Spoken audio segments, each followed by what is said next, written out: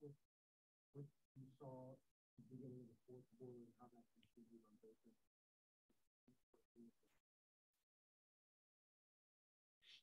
Yeah, they they just turned it up. Um, we had a discussion in, our, in in the huddle about the fourth quarter, our ability to execute, and you know we we come we come out first play, we get a good look.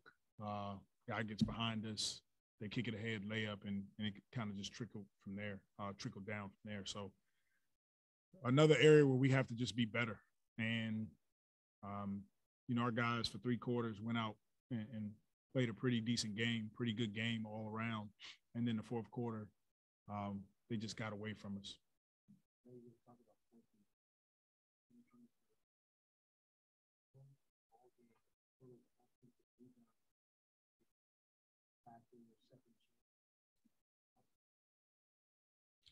Yeah, he's he's uh he's one of the best at it. Uh, maybe the best in the league at in offensive rebounding. Um, he's great timing. Shot goes up. Uh, he's a quick leaper, and we talked to the guys about it about you know being able to withstand his ability to offensive rebound. But you know he had a really good night, and some of the came in crashed, and and it's not an area that we uh, normally get beat in. But tonight they were better at it.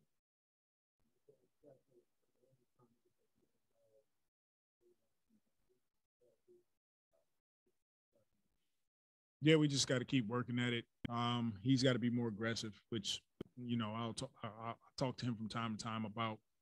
Uh, but but you know it's just one of those games where he he just didn't get it going, and um, we'll go back to practice, get back to work, and and I'm sure he'll be better.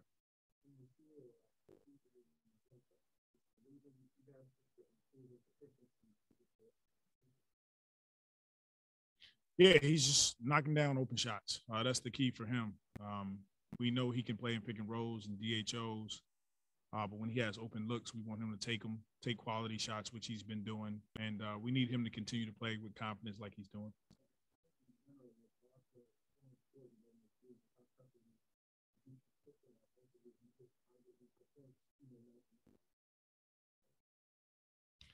Well, it's a weak score mentality. Um, for our team. And I didn't I don't think going into like looking at the stat sheet that we didn't get production from our guards. Um, we just didn't get stops in the fourth quarter. We didn't execute the way we were capable of, and it allowed them to stretch the lead to the point where we couldn't get back in it. But for three quarters, our team was playing well. We were moving the ball. Uh, some things that we can clean up. Fourth quarter just has to be better for us.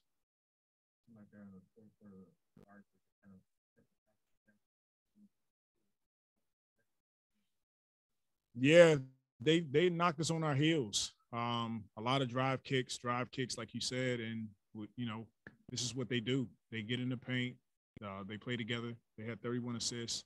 Um, once again, we have to start the fourth quarters better.